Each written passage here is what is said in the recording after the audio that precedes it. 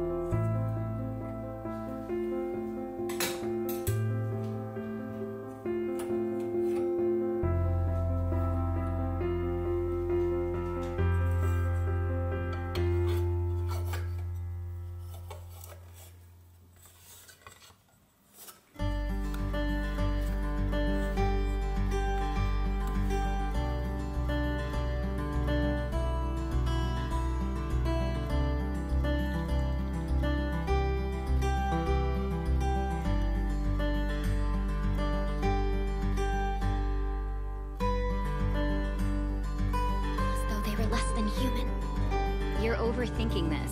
It's not like you and the 86 are best pals or anything like that.